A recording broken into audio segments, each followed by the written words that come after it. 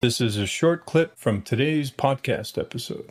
Do you guys work with realtors at all, Don, on that? Like, um, you know, when they buy a house, they do an inspection, but it's always a piss poor, just a very general inspection. We always recommend out here that our plumbers work with Yeah. realtors and show them that a you know a, a camera inspection of the sewer line is vital Mhm. before you close escrow. You guys get involved in in that at all? It's very niche. I Mhm. understand if not. Yeah, yeah, I tell people all the time, and, and we have worked with some realtors doing that.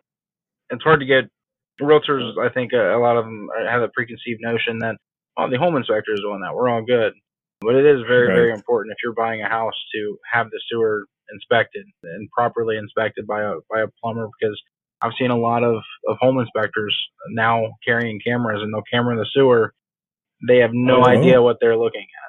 and they'll send us reports saying Yeah, this sewer's completely messed a up. good- It's about to collapse. And I'll look at it. And I'm like, it's old, but there's nothing wrong with it. There's like, wow. or vice versa. They'll say, you know, there's nothing wrong with it. And I look at it and I'm like, you're, you're completely underwater in this 20 foot section.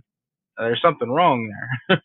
so Wow. Wow. yeah, That's even more dangerous. Uh, having them, sc- they're not licensed plumbers and they're scoping the line. right. I'm not sure which is more dangerous, not looking at the line at all or having somebody who has no skill set to, to analyze what they're looking at. Right. I'm not sure what's worse. But it is, uh, so we've heard some horror stories through our clients, you Uh-huh. know, that somebody bought a house and then they got called out for the sewer line and, and then they found out it was broke, you know, it was $22,000. And they're like, what are you talking about? It just bought the house.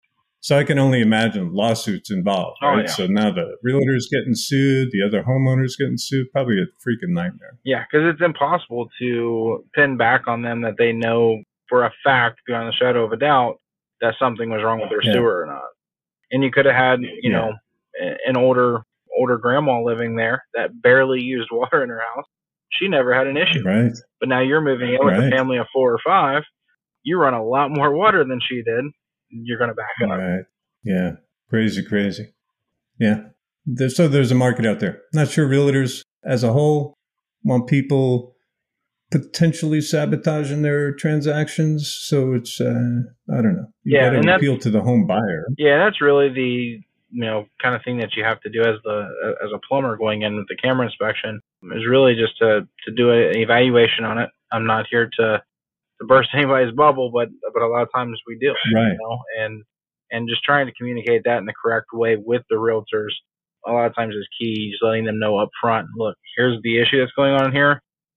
Here's what we would recommend that needs to be done. Here's the cost for it, and then really from there, especially if they know that going up front, because now they can either one withdraw their offer or you know put a, a lower offer in to cover the cost of the sewer. Right. And, and a lot of They people get to negotiate. correct, yeah. And, and I get that a lot too. We'll go out to camera someone's sewer who's been having backups, and they're like, you know, I'm not going to worry about it. I, I'm just going to sell the house in a couple of years. Like, okay, Whoa. that's fine, but now it's somebody else's problem. When they when you go to sell the house, if they do their due, due diligence and they look at the sewer line, you're either going to pay for it now or you're going to pay for it later in, in the cost of the sale of the house. So there's really no sense in putting it off. Absolutely.